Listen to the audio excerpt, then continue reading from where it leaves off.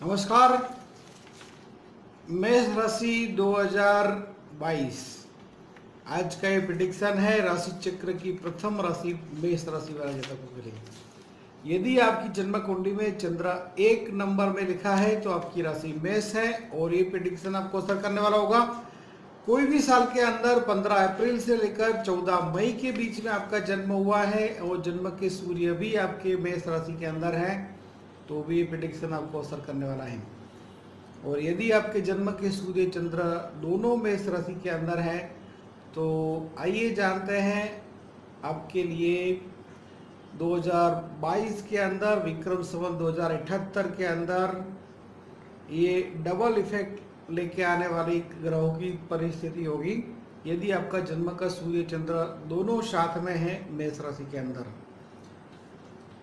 तो कहने का मतलब है कि आपको इसका बहुत प्रडिक्शन का बहुत ज़्यादा असर होगा। तो इस प्रडिक्शन के अंदर हम लंबे चलने वाले ग्रहों की ट्रांजिट के बारे में बात करते हैं। तो सबसे पहले बात करेंगे शनि ग्रह के बारे में। तो शनि ग्रह का जो भ्रमण है, वो वहीं पर है। जो 2021 में है, वो 2022 में भी वहीं पर है। मकर राशि के अंदर। हालाँकि शनि जो है वो 29 अप्रैल 2022 से लेकर 12 जुलाई 2022 तक कुंभ राशि के अंदर चलेंगे आपके ग्यारहवें स्थान के अंदर। फिर से वो वक्री होकर आपके दसवें स्थान में, कर्म स्थान में आ जाएँगे। तो शनि का जो ट्रांजिट है दसवें और ग्यारहवें स्थान के अंदर, ये बिज़नेस और करियर में एक प्रोग्रेस करवाने वाली ट्रांजिट होगी। लाभस्थान में चलने वाले शनि आपके लाभ में वृद्धि करने वाले होंगे। और इसका पॉजिटिव पॉइंट ये है कि आपका जो बिज़नेस स्थान है, कर्म स्थान है, ये आपका मज़बूत बन रहा है। तो वक्री होने के बाद भी शनि आपके कर्म स्थान को इफ़ेक्ट करने वाले हैं, जिसके कारण बिज़नेस और करियर में ये प्रोग्रेस करवाने वाली ट्रांजिट है शनि ग्रह की। तो गुरु ग्रह की ट्रांजिट देखिए तो क्या है? गुरु जो है वो 20 नवंबर से कुंभ राशि में चलेंगे और 13 अप्रैल 2022 से गुरु चलेंगे मीन राशि के अंदर।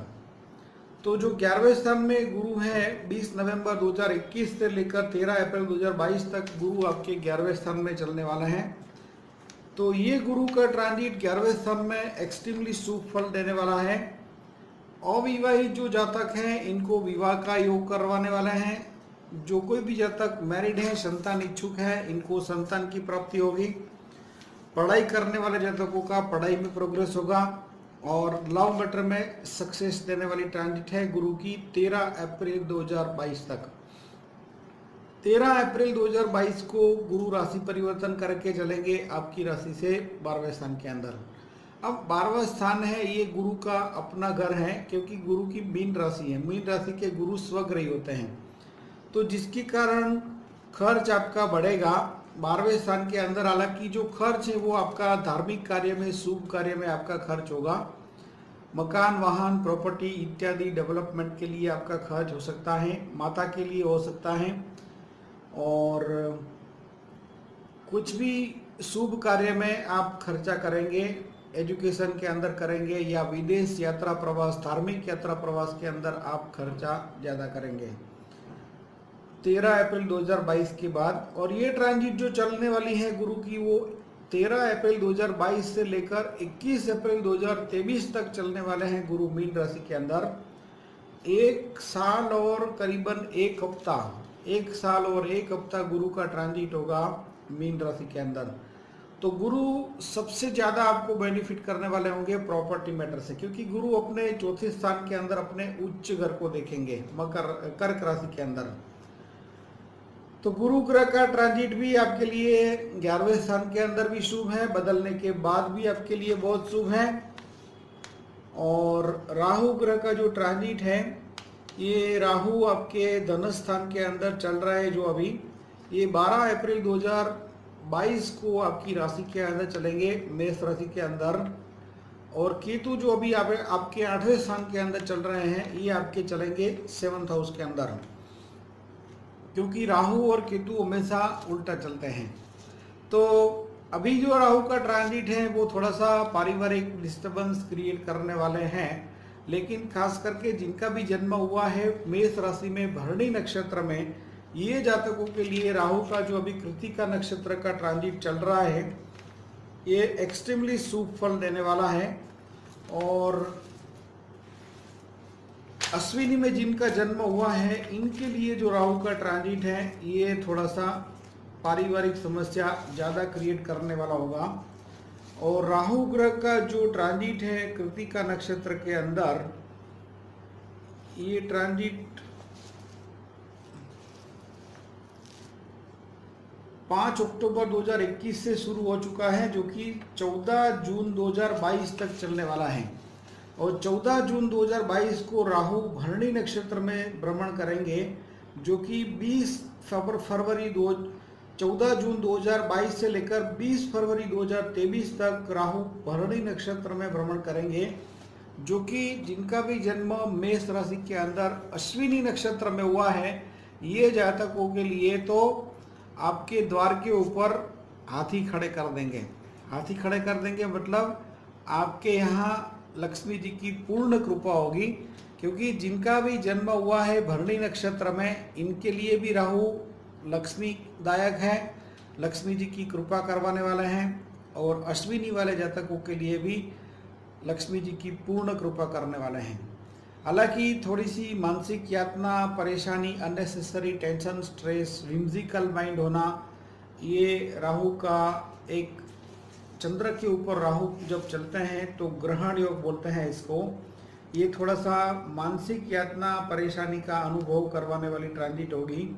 मेष राशि वाले तमाम जातकों के लिए, क्योंकि राहु और चंद्र का जो योग होता है, इसको ग्रहण योग बोलते हैं। और जब जन्म की चंद्र के ऊपर से राहु का ट्रांजिट होता है तो चंद्र जो कि मन के कारक है, जिसके कारण ये माइंड के ऊपर सवार हो जाते हैं, जिसके कारण और वैसे भी जो आपकी राशि है ये काल पुरुष में आपका जो स्थान है, ये मस्तिष्क का स्थान है, माथा का स्थान है, हेड का स्थान है, जिस, जिसका कंट्रोल है माइंड के ऊपर, विचारों के ऊपर।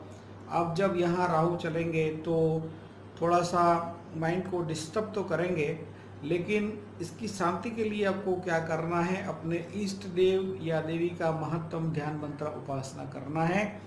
आपको